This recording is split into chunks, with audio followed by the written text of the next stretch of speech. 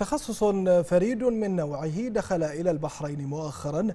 تفردت به الدكتورة سميرة كمال بعد أن سافرت إلى الولايات المتحدة الأمريكية لتتخصص في الكشف عن الأمراض عن طريق الشعر لتصبح سميرة الطبيبة رقم عشرة على مستوى العالم المتخصصة في هذا المجال. لطالما اعتاد الناس على إجراء الفحوصات الطبية عن طريق الدم لأنها تعتبر الوسيلة الأشهر للتعرف على أي مرض قد يصاب به الإنسان. ظاهرا كان أم خفيا ولكن اليوم نحن بصدد ثورة طبية جديدة. تمثلت في الكشف عن الأمراض عن طريق خصلات الشعر. تقوم به أول طبيبة بحرينية تتخصص في هذا المجال من بين عشرة أطباء حول العالم. من التقنيات الجديدة اللي الحين إحنا قاعدين نستعملها. فهو الشعر الحلو فيه إنه يعكس لنا شغل الأعضاء. فإحنا من خلال فحصنا للشعر نعرف الأملاح اللي موجودة في الشعر فنعرف الأعضاء شلون قاعدة تشتغل. يعني الهضم الغدة الكظرية الغدة الدرقية الضغط هل سبب نقص مغنيسيوم ولا لا؟ إذا في ارتفاع في الكالسيوم مؤدي لمشاكل زيادة وزن حصوات في الكلى حصوات في المرارة. آه، عندنا مؤشرات بعد تبين لنا إذا واحد مثلا في طريق إنه يصير معاه آه، مشكلة في يصير عنده كانسر أو أو هاي إذا فيتامينات ناقصة عنده. فكل هذه الأمور تبين في فحص الشعر. فإحنا ناخذ عينة نطرشها على أمريكا وفي أمريكا يحللونها وخلال أسبوعين نحصل النتيجة. ونقعد مع المريض ونقعد نشرح له الحين وين المشاكل اللي موجودة عنده.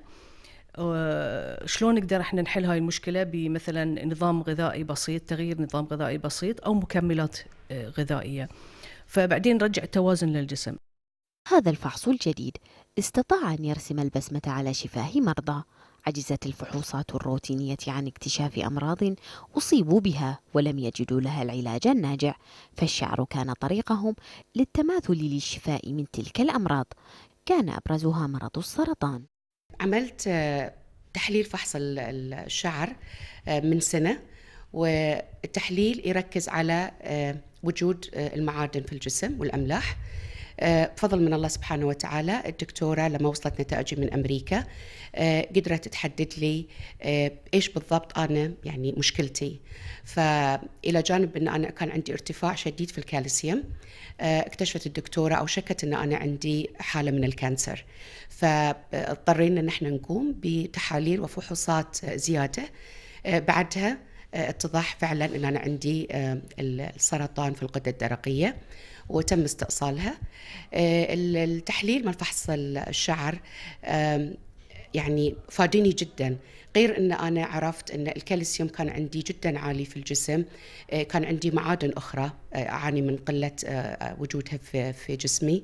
بالمكملات الغذائية اللي كتبتها لي الدكتورة أنا بفضل من الله سبحانه وتعالى تحسنت حالتي الصحيه جدا في خلال سنة.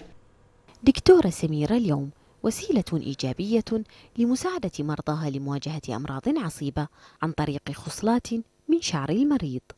إحنا ناخذ عينة شعر تقريبا آه، عينة يعني قليلة عندنا تقريبا كت خاص فيها. هذه الكت آه، في ميزان.